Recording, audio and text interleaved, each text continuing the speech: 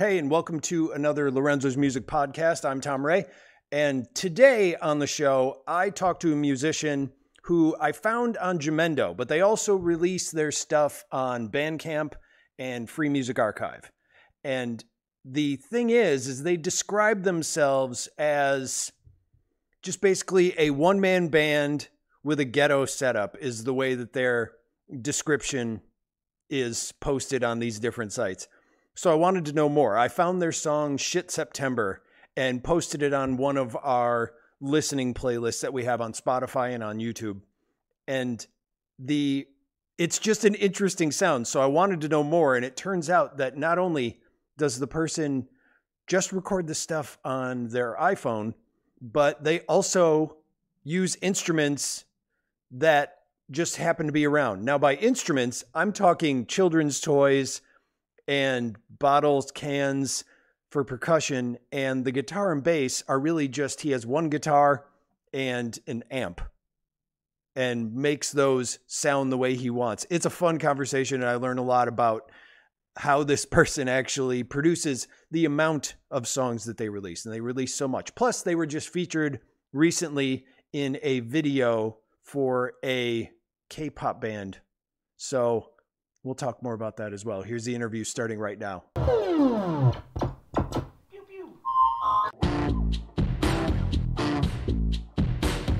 My name is Erik Pisor. Um, from San Diego, live in San Diego, and I am Gagmesharkoff. I'm a one man operation. And uh, I have a pretty ghetto setup compared to probably most folks out there. And it's really, uh, yeah, pretty. I mean, it's kind of what I think garage rock is really probably what it is. Actually, it's a guy in a garage with an amp who uses his guitar to also do the bass and doesn't actually have a real drum set, just uh, kind of a hodgepodge of children's instruments, percussion, and other random oh. uh, drums and percussion I will buy at um, thrift stores or garage sales. I didn't know that part. Okay. Well, yeah. first, let me let me go back just a bit. So, and it, as you noticed, it made me laugh. Still, the name. Where did the name come from? Please tell me what Gagmesharkoff is. Yeah. Um, so there's a part of San Diego, um, kind of a coastal part called Point Loma, and that's like where the old time Portuguese fishing industry was, and there's just a lot of marinas down there and such. And I used to go eat at a place called Point Loma Seafood with my parents, like, you know, one Friday a month, right? And so all the boats are down there and you walk around and look at the boats and, you know, just check them out, I guess. But I think, I think as my dad told me, I just always started calling the place, the restaurant we went to, Gagmesharkoff. Okay. And I don't really remember why, but he told me it was actually like there was an ad for a lure, and the lure was called shark off and like the like the ad pitch was like gag me like you know get the get the fish gag me shark off. So then i just called point loma seafood gag me shark off. And then when i was just trying to think of a personal band name yeah. i just went with it because it was it always stuck in my memory. So you you did that instead of just going by your name even though you're a one-man yeah. band? Yeah i don't want to go by my name. Okay. That I'm makes kinda, sense I'm kind of mysterious in that sense. You're not going to see my picture on anything that I post, or you know, right. all, my, all the pictures I post are just pictures I take from usually the runs that I go on. I like taking a lot of nature photos and stuff. Is that what those are from? Yeah. If you see anybody out there in the in the realm out there, if you ever see any of my stuff on either Free Music Archive or maybe I don't know SoundClick or something, all those, you know, they're like, oh, have a photo next to it. You know, you have to have a photo. Those yeah. are all just personal photos I've taken from runs, mostly just throughout San Diego County. Actually, probably most within like a 10 mile radius of my house. Okay. Nice. And then I you just mentioned Free Music Archive, and I either discovered you on Free Music Archive or on do you upload to Jamendo as well? Yeah, I do. I don't know okay. if that gets a lot of attention or not. Free actually does. does. It's it's just it's more difficult these days for people to find it and the analytics don't really tell you anything. Basically the analytics uh, go by your listens since the very beginning so it's just a steady climb. Like that's all yeah. it is, is it's just the analytics going up.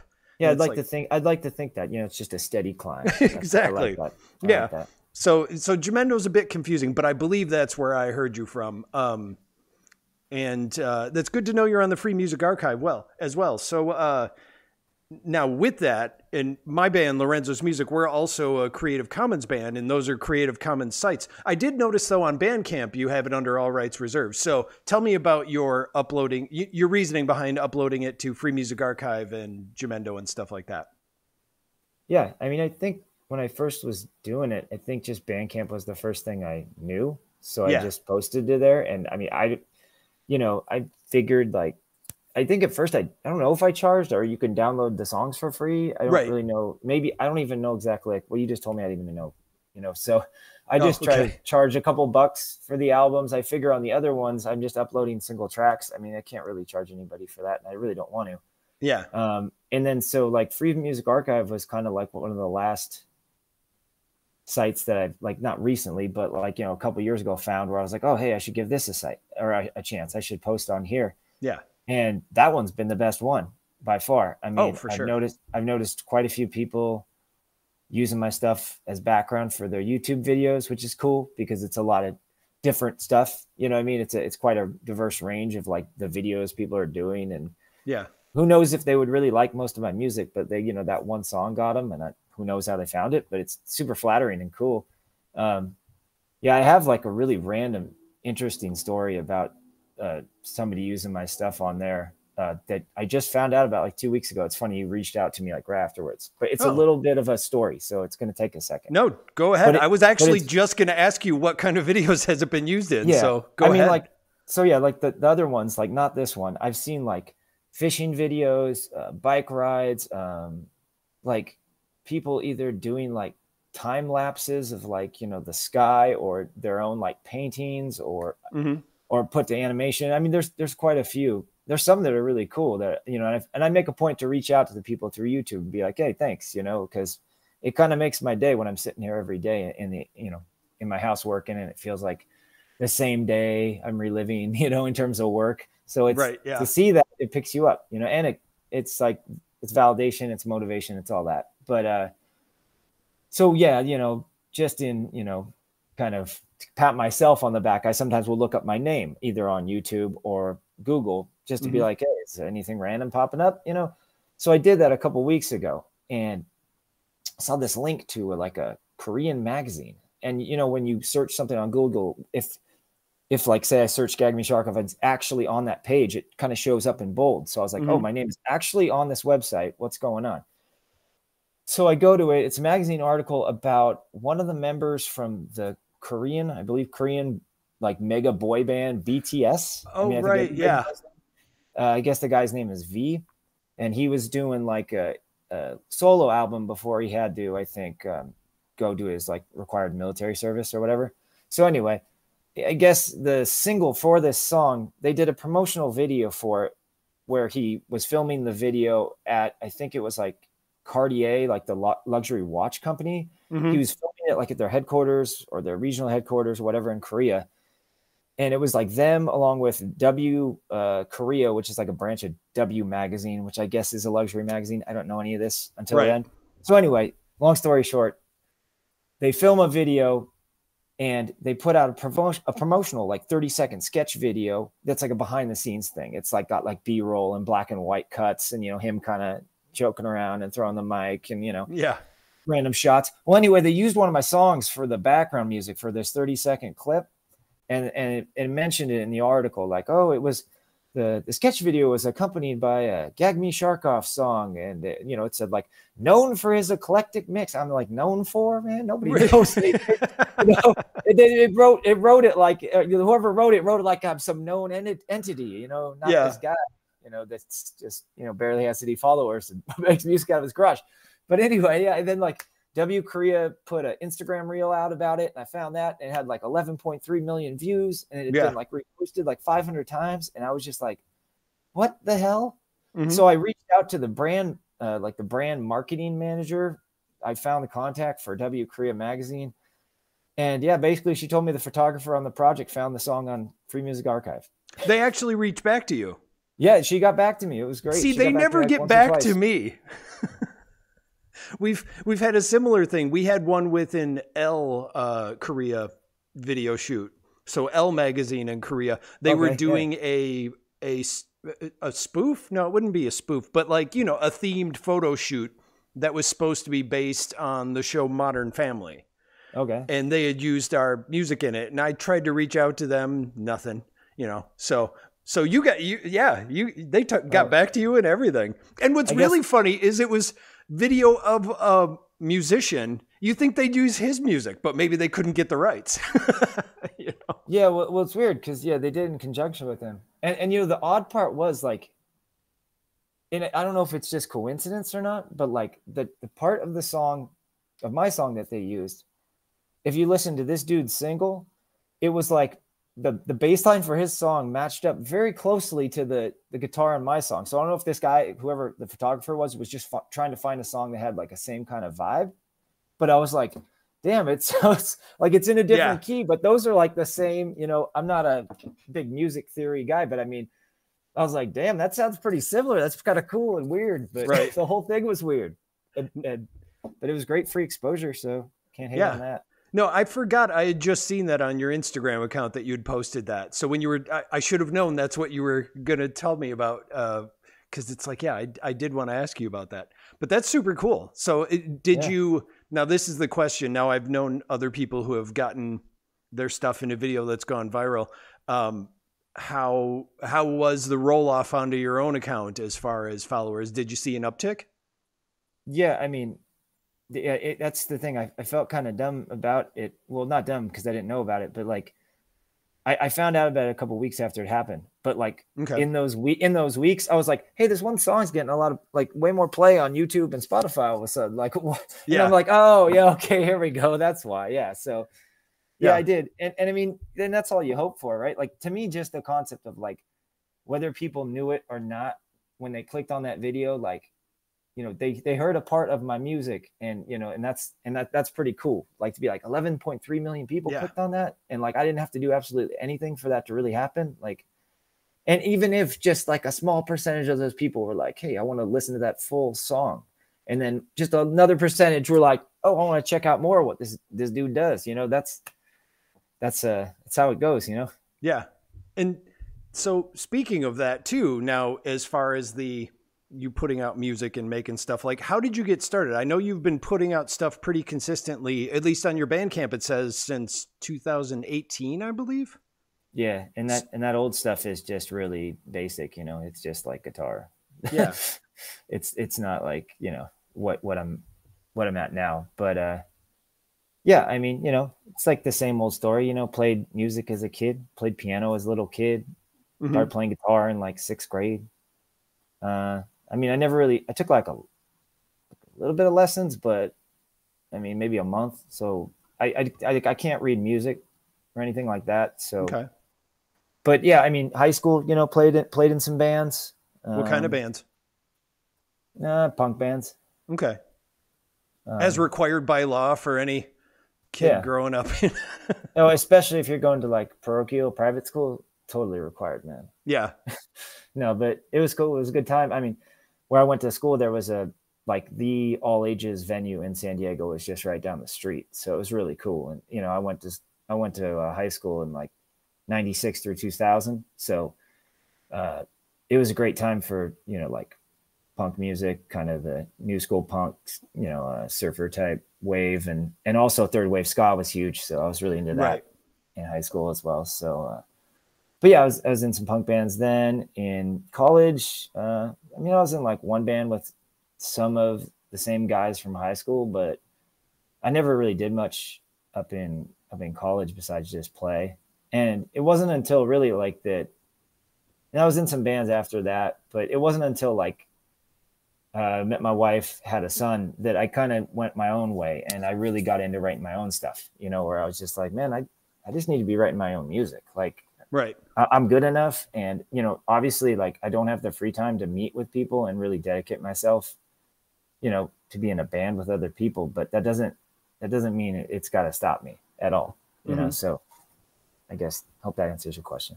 Yeah, it does. And also, you had mentioned before that you have been kind of hodgepodging stuff together to put it uh, I guess one way uh, as far as like the drums and playing on kids instruments mm-hmm. for the drum sets. So tell me about your process for making a song. I'd really love to know more about how you achieve the uh, I think you referred to it as garage junk band. I mean, it could be junk, it could be rock, it could be whatever you want. Yeah, but, yeah, I mean, yeah. Uh, in terms of like, you know, we'll, we'll, get beyond the part of like, hey, I'm messing around in my house and I, I lay down the song. Like when I go out in the garage, most times I like to have like at least one part like kind of solidified in my mind. I'm not out there yeah. kind of trying to waste my time so much. And uh, so usually it's whether it's a guitar or bass line, go out and record that. And then, you know, the fun starts after that, where it's the layering, where like, you know, you probably are familiar with you, you write a part, just one track of a song, but in your head, and even you, you might hear what you want it to be. And even if you don't, you just know like, man, I can really elaborate on this, you know, like what this is right here, just this guitar, it's going to be so much more than this. And that's where the fun and the creative part comes in more is that layering. Um, for the drums though, like like I said, for the well, for the guitar, I don't have a bass, so I just play the bass lines on my guitar, and then I'll just change the levels on when I'm mixing it to like low to. Oh, you're not like even that. detuning it or using different strings. No, no, I just and I just make it sound deeper. You know, I'm like, yeah. That's, that's, now you got your bass. Um, yeah, and uh, yeah. So for the drums, it's kind of like you have to almost record like three or four different tracks to really replicate what a full set would sound like just on one track, right? Mm-hmm. So you got to do the kick drum, you got to do you know a snare and, and a shaker, or then you got to do two shakers, or you know whatever else. I mean, I I'll use random stuff all the time. You know, bottles. Um, I don't know whatever's around. I just got like a new little tribal. I guess it's a tribal drum, and it has like tribal skin on it. But okay, uh, that that's cool. You know, it's got doom doom doom doom so, and what I do is I kind of just, when I do the drums, I just do all sorts of stuff over it. And then, you know, the editing process is where it's like, okay, some of it, you know, you pick and choose. Obviously, you have to have like, you know, a solid track laid down that's laying down a beat, but all the other stuff I kind of pick and choose and I can move around. Um, sometimes things work and sometimes they don't. And that, that part's probably the most time consuming part because you have to listen through everything. And like I said, like, yeah, you could just no, find like one 10 second is, part and be like, oh, that sounds good right there. But the rest of it, that percussion doesn't sound good at all. It doesn't work at all. Yeah, 90% of making music is listening back to what you just did. it's really Yeah, and then just... and then it's hard to tell if it's really good at the end. You know, mm-hmm. you almost need other people to listen to it to be like, I mean, I think this is good, but like I've listened to this so many times that like I'm hearing that one spot where I still think it kind of doesn't sound perfect, you know? like, yeah. And and that's you know, to to your point of like that's a I, probably a hard part about recording when it's just you, mm-hmm. because like you lay down a guitar and maybe certain par- parts aren't exactly on time, and then you got to put the drums down, and it can throw you off. You know, right. so you have to adapt for that sometimes, and that can actually change like how your percussion is because you kind of have to yeah get out of rhythm sometimes to match up with the guitar. Mm-hmm. Um, you know, and yeah, I've had stuff where I like my guitar was just a little bit different tuned, and I go back to record another guitar uh, track over it, you know, a lead or whatever, or backing track, and I'm like, oh, dude, I got to change the tuning of my guitar. Like this isn't even in proper tuning, like you know. So yeah, like you go a week back, you know. So uh, yeah, so sometimes I try to do that where I'm like, okay, I'm just gonna go out here today and just do all the guitar for the song, you know, right. I'll worry about the rest later. So you're recording these all in a linear fashion, like you're not doing when you were talking about you need a bass drum part or you need a snare part. You're not just sampling the part and then creating the beat. You're saying you'll play that bass drum part, then go the on time. to record in real time. You're saying, yeah, I'll play through. I'll play the whole song. Okay. Yeah. All right. But I mean, there's times where it's like, oh, it's a complicated part in a song, and then I'll go back and edit it and be like, oh, I you know, like where I do a similar fill, but maybe I do that fill like four times yeah. over a gap. And I'm like, oh, that one sounds on point. So I'm going to copy that and put it here where I can hear like, oh, I, I, hear the stick hit the side of the drum on that one. I don't really like that. So I'll use this. You know, I mean, there's some of that, but when I'm initially doing it, yeah, I'll play it all the way through the songs. Okay. You know? All right. Yeah. I was just curious if you were grabbing the samples and then arranging them or if you were playing them full on. Interesting. So what DAW are you using when you're recording these? Uh, I use this thing. It's called the iPhone. Really? Yep. All right. I told you it's a ghetto setup, man. so tell me more about the ghetto setup. How are you using the iPhone? I just use GarageBand on my phone. okay, so you are using GarageBand. Okay. Yeah. All right. And then you don't mix it like later on on the laptop or anything or like transfer it over. You're just strictly doing it only from your phone. Yeah. I mean, Okay. I was at one, at one point I was using uh, a computer, but then the uh, my son's computer, but then it went to shit, and uh, um, as as sons do, uh, laptops and computers well, like do. the screen got all ja- I don't know what happened, but then the, the mic the mic didn't work as well. Like, and uh, so with that, I was able to put more like, uh, I guess, post effects on like the instruments if I wanted to. hmm Uh, I know I can add stuff to this phone, but I, I really don't. So uh, my more recent stuff, what you hear is pretty straight up. Like there's not really any after effects being put on that stuff. Um, I'm just maybe changing the levels, but like, uh, yeah, I'm not putting too much on there. And I mean, I don't even when I record, I don't even have distortion pedals, so it's either clean or in the middle or distorted Yeah. that that's it you know or you know some more reverb some less reverb but yeah it's it's pretty like i'm kind of just focused on like making the music than getting complicated with uh, tech i guess Yeah. And like I was saying before, you put out a lot of music. And uh, aside from the just finding out that your music got used in a video or something like that, like, do you do anything else with the music? Do you promote it or are you just writing it and putting it out there and that's the end of it and you move on? yeah i mean i guess that's that's how i promote it in my mind like Yeah? yeah i just yeah i just put it out to the world that that is exactly right and people find it eventually it takes time you know that song that got used on that video i wrote that song or released it more than two years ago it's like how did that get found now and used? Right. i don't know Yeah, uh, the the long tail of videos, it's really just they're easier to get found somehow. I, like a lot of our songs from like many many years ago, just from the length of time. Of course, they have more plays, but God, if they don't still get like tons of views every single day, and it's like I'm not even promoting these anymore. They're from albums that like we can't even play anymore. Like we don't even know how to do the song live oh, anymore. oh dude that's that's like all my songs i'm like i don't even i couldn't even remember how to play that i mean i probably could but like when you le- when you have like a three or four guitar tracks on a song you're like yeah i don't think i'd probably remember all those but Yeah. Do you play live at all? no No. Okay. No, no, no, not at all. I mean, yeah, I mean, I don't know how it would work.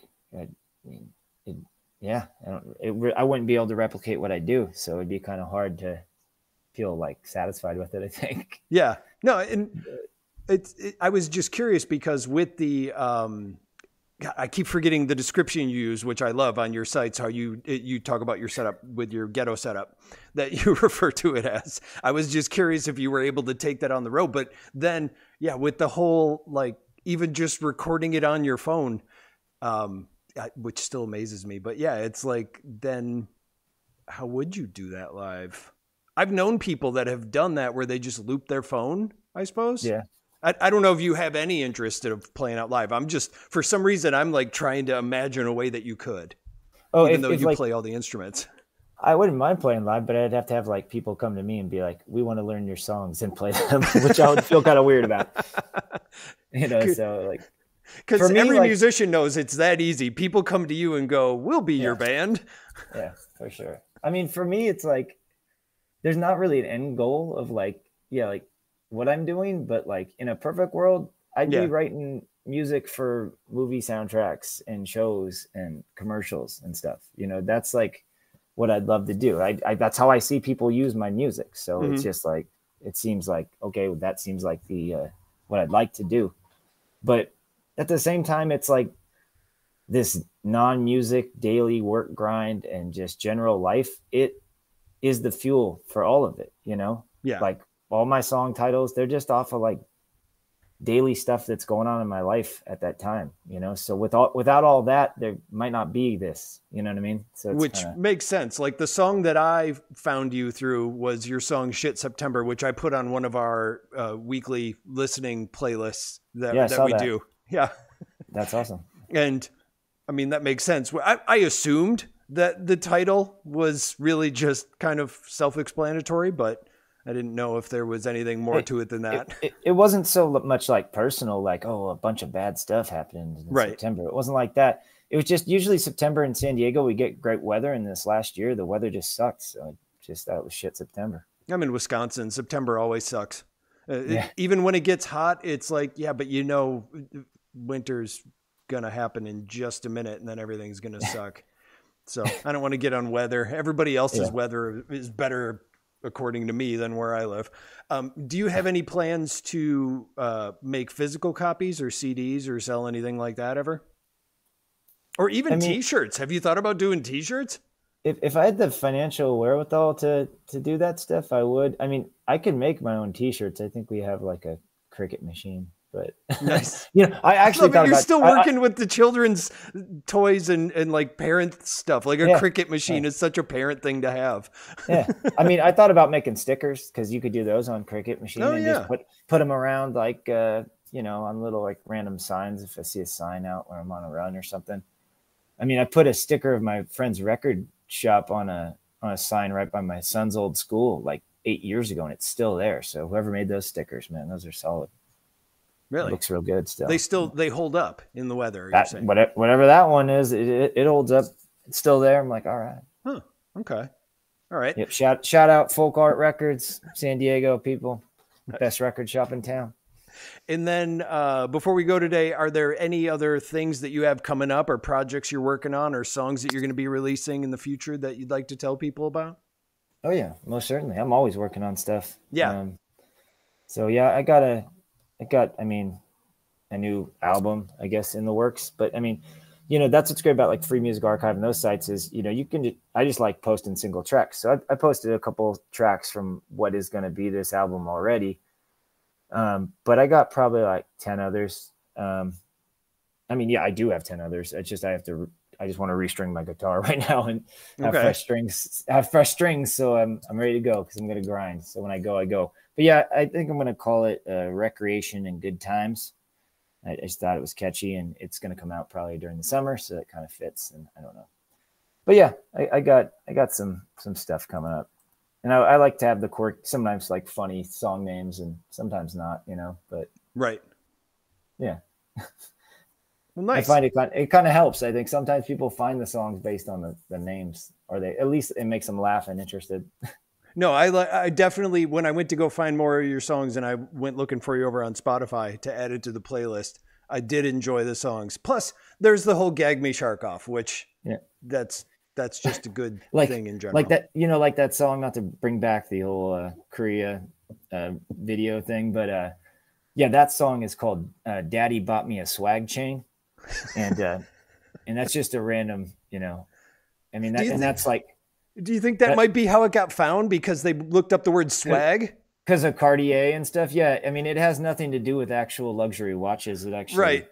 it was a it was a baseball reference to like three years ago you uh, you, said you're in uh, wisconsin i don't know Yeah. if you're a Brewers fan or not, but I, I like the Padres. And it was a year where they were, they had this giant chain and it had like a SD on it. It was like a Flavor Flav chain and it like Uh-huh. spun the SD. And they'd always put it on the guys' heads when after they hit a home run.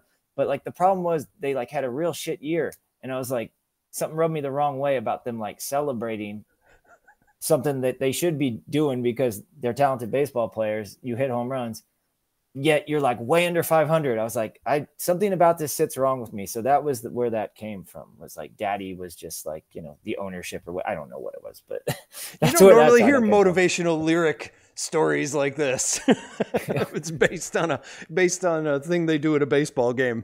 well this is how my mind works you know they just random everyday stuff and then it uh Yeah.